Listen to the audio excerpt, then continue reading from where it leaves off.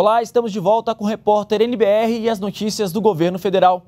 A produção de petróleo extraído do, da camada de pré-sal ultrapassou um milhão de barris por dia.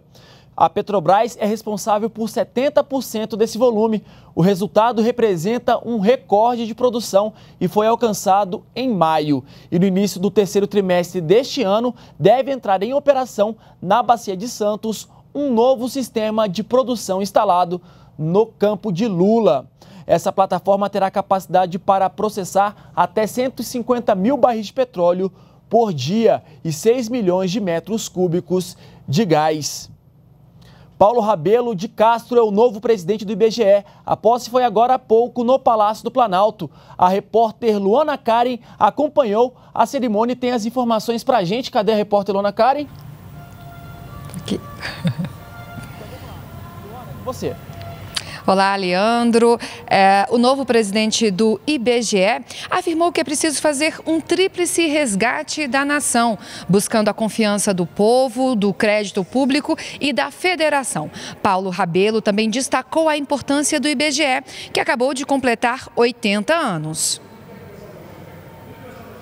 Eu represento, de certa maneira, a voz e a vez do cidadão comum em suas recentes e insistentes manifestações por um Brasil mais eficiente e decente, um resgate da confiança do povo brasileiro, um resgate do crédito público, ora abalado, e um resgate da Federação Brasileira, que mal se inicia com a repactuação ainda emergencial da dívida mobiliária é, dos Estados. É grande e é nobre a missão institucional da Fundação IBGE, e aí abre aspas, de retratar o Brasil, levando a todos o melhor conhecimento da realidade e aprimorando o exercício da cidadania.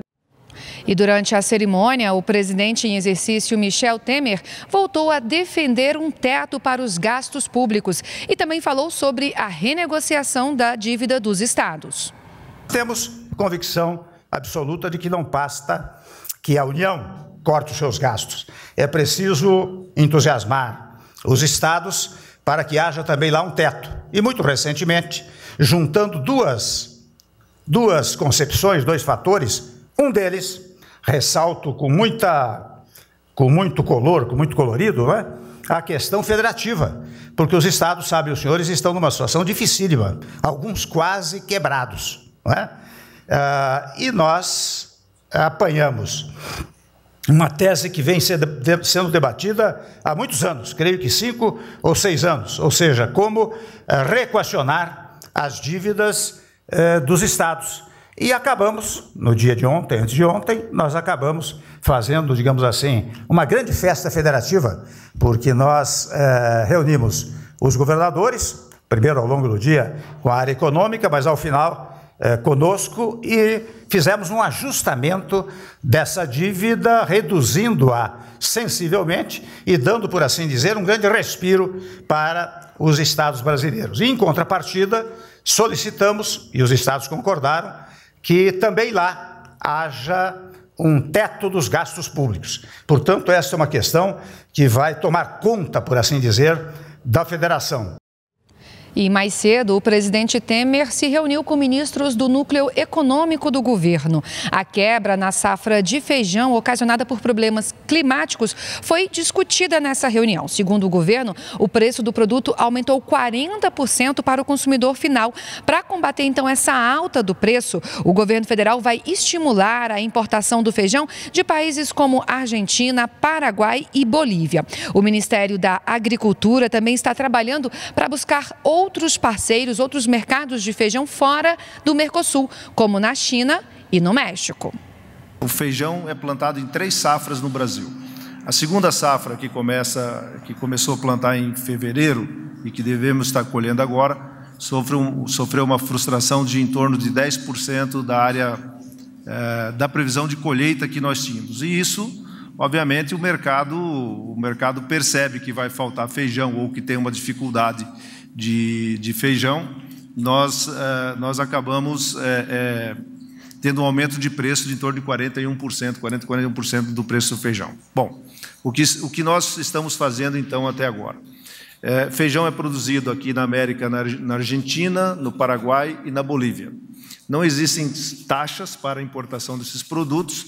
O que existe é que é um mercado muito pequeno, um mercado dominado por poucas empresas no Brasil, por uma, uma estrutura muito pequena, e que é, pode controlar também a importação. Então, o estímulo que estamos fazendo é com as grandes redes de supermercados e também é, atacadistas para que eles possam buscar na América esse, esse feijão é, para quebrar um pouco esse, se poderia chamar um monopólio, alguma coisa parecida na questão do, do, do feijão no Brasil. E por sugestão hoje, então, do presidente Temer e com sua autorização, é, nós vamos, através do planejamento da Fazenda, retirar os impostos, as taxas que estão que são cobradas normalmente da importação de outros lugares. De onde são esses lugares? Pode ser da China e pode ser do, do, México, que são outros dois produtores, além de outros países também. Então, a sinalização para ah, o, o, abastecimento e a redução dos preços é a, a importação, autorizar a importação sem taxas também de outros países que não sejam do Mercosul. Também sobre a reunião do presidente Temer, o ministro interino do Planejamento, Diogo Oliveira, disse que em até 15 dias esse núcleo econômico vai apresentar ao presidente propostas para redução de despesas, maior qualidade e controle dos gastos, medidas também voltadas para o destravamento dos investimentos, redução da insegurança jurídica e medidas de abertura de mercados.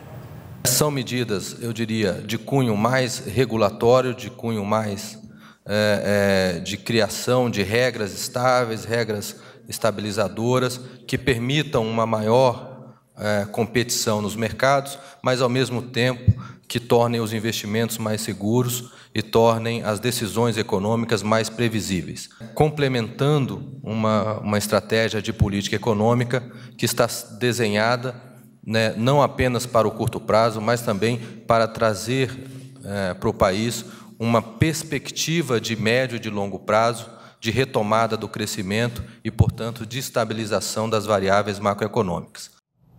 E começa hoje a convocação dos inscritos na lista de espera do SISU. O Sistema de Seleção Unificada seleciona candidatos a vagas em universidades federais e institutos federais de educação com base na nota do Enem. Participaram do SISU estudantes que fizeram o Enem de 2015 e não tiraram zero na redação. Para esta edição, foram ofertadas mais de 56 mil vagas em 65 universidades públicas de todo o país. Todos os detalhes estão em sisu.mec.gov.br. Os Jogos Olímpicos e Paralímpicos vão aquecer as atividades turísticas no país. Uma pesquisa encomendada pelo Ministério do Turismo estima que o faturamento do setor vai aumentar 16% este ano. Essa agência de turismo do Rio de Janeiro promete realizar qualquer sonho de viagem em todas as partes do mundo. Nós somos uma empresa que oferece todo tipo de serviço turístico excursões, passagens, cruzeiros marítimos, trem, hotel. O cliente que chegar aqui vai sair satisfeito e com certeza vai viajar muito feliz, a gente vai conseguir fazer o sonho dele. Há 25 anos no mercado, a agência conta hoje com 15 funcionários e clientes fiéis. A expectativa para 2016 é de crescimento. Os Jogos Olímpicos no Rio devem atrair turistas estrangeiros para conhecer o Brasil. É, para a gente espera que influencie com esses, essas pessoas que estão vindo de fora querendo viajar pelo Brasil. Então a gente acha que a gente vai atender essas pessoas que além do Rio conhecer outras cidades do Brasil. Mas não é só aqui na cidade olímpica que a expectativa do turismo está otimista para o ano. Um estudo da FGV, a Fundação Getúlio Vargas, revela que dos nove segmentos que atuam no setor e que foram pesquisados, sete registram expectativa de aumento de faturamento para 2016. O estudo envolveu as 80 maiores empresas do turismo, que respondem por 115 mil postos de trabalho em todo o Brasil. Nos segmentos de locação de automóveis, transporte rodoviário e operadoras de turismo, mais de 90% dos pesquisados afirmam que vão investir mais recursos nos próprios negócios este ano.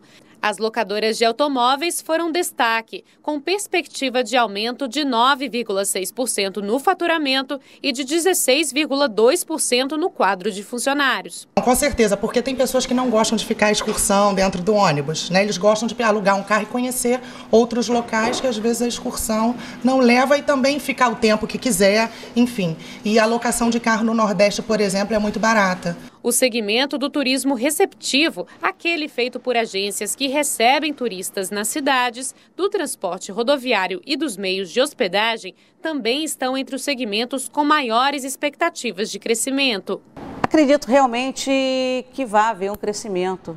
É, sim, uma vez que é, eventos como Copa do Mundo, nós vamos ter agora as Olimpíadas, ela sempre dá uma visibilidade maior né, para o país ou para a cidade que esteja sediando esses eventos. Turismo é, é uma atividade, né, uma indústria sem chaminé e que mexe com toda a economia do país, do estado, da sua cidade, em que todos lucram, em que todos ganham, seja é, na, é na hotelaria, é nos, é nos restaurantes, é, é do vendedor de, de mate, de, de, de, biscoito na praia, enfim, ela mexe com toda uma cadeia produtiva em que todos ganham. E isso é extremamente positivo. O diretor de Estudos e Pesquisas do Ministério do Turismo conta que a vocação do Brasil é a diversidade de pontos turísticos. Sol e praia continua sendo a categoria que mais, mas também hoje a cultura, os esportes e toda uma série de, de, de atrativos, que o Brasil é muito grande, o Brasil é praia, mas o Brasil é também interior. E o interior vem crescendo cada vez mais na oferta de produtos turísticos. Um dos esportes mais curiosos das Olimpíadas, a marcha atlética, é uma modalidade do atletismo. Para executar o movimento com precisão, o competidor tem sempre que manter um dos pés no chão. Nos Jogos Rio 2016, um dos nomes que vão representar o Brasil é o de Caio Bonfim, que herdou dos pais a paixão pelo esporte. Os passos da marcha atlética parecem simples, mas têm regras complexas. Além de caminhar mantendo sempre um dos pés no chão, ao dar cada passo, a perna que avança deve estar reta. O brasiliense Caio começou no esporte aos 16 anos. O gosto pela marcha atlética veio de casa. A mãe, Janete Sena, foi marchadora e encerrou a carreira com um legado de oito títulos. Ele nasceu no meio. Então, desde bebê, a gente via para as competições, eu ia competir, ele ficava no carrinho, a galera ficava cuidando dele. E ele cresceu nesse meio, não tinha como não não ser influenciado. Janete era treinada pelo marido João, que hoje é o responsável pelo desempenho do filho nas pistas. Desde os 10 anos, que desde a sua primeira prova que ele é campeão. Todo momento nós passamos para ele a questão do treinamento, né? melhorar a técnica, fazer o possível para que sua, uma, sua marcha seja irrepreensível, é, para que os árbitros possam ver ele marchando e dizer assim, ele é um bom marchador. A marcha atlética exige atenção atenção, concentração, ritmo e resistência. Por isso, o treino dos atletas é intenso. Caio, por exemplo, treina de 3 a 4 horas todos os dias. Mesmo com o apoio da família, ele passou por diversas dificuldades, principalmente com a falta de patrocínio. Para continuar competindo, contou com a ajuda do Bolsa Atleta. Eu estou aqui hoje é por causa da Bolsa Atleta. Por muitos anos foi o único incentivo que eu tive. Então eu, tô, eu sou grato mesmo por tudo que está esses investimentos do meu país, né, junto com a Bolsa Atleta. Eu agradeço mesmo, de coração, porque é, consegui, quando era juvenil, ser segundo do mundo. A Bolsa Atleta me ajudou a estar nos Jogos Pan-Americanos, a estar em Londres. Então hoje faz parte, ainda consigo, ainda faz parte desse investimento, dessa valorização. Então é, ajudou a construir a minha carreira. Aos 25 anos, ele tem alcançado ótimos resultados. Conseguiu os índices das duas competições olímpicas de 20 e 50 quilômetros. Agora sonha em brilhar nos Jogos do Rio de Janeiro e popularizar o esporte no Brasil. É hora de a gente preparar e dar o melhor, mesmo que não saia o resultado esperado, a gente poder olhar para trás e falar, cara, eu dei tudo. Dei tudo para o meu país, dei tudo para chegar bem aqui. Então, para mim é uma honra.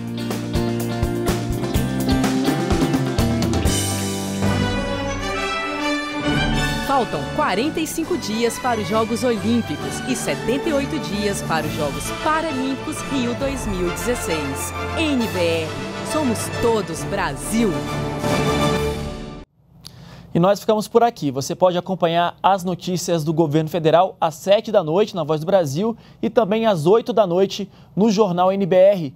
Não deixe de acompanhar ainda as novidades do governo federal em nossas redes sociais. Continue com a gente aqui na NBR, a TV do governo federal.